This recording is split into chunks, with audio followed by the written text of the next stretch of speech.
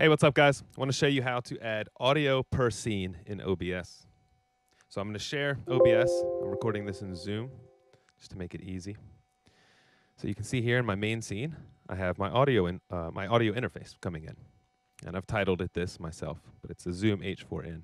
And the way you get this is uh, first you want to disable your global audio settings. Now, by default, your interface or whatever USB microphone or audio source you're using is going to be in one of these.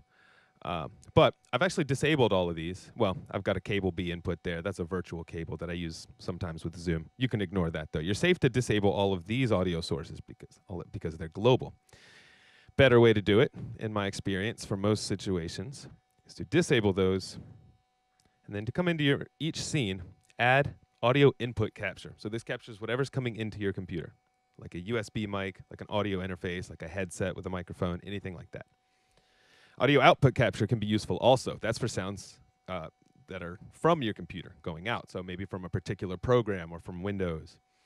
Um, but in this situation, we're talking about how to get your audio sources into your computer into OBS. So that's it. You add your audio input capture, call it whatever you want.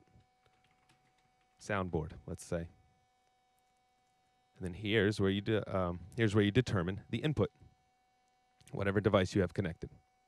So that's it. That's how you add it there. Uh, side note, extra bonus tip. If you right click on any of these gears and go to advanced audio properties, here you can add delay to any of your audio sources so that they sync up with the video. There's also ways to add video delay, and we can talk about that in another video. Uh, but also useful is audio monitoring. So you can decide which of these sources you're sending to your monitor. Now, if you don't know where your monitor is going, go into your settings, audio, advanced. And there, they let you select one monitoring device.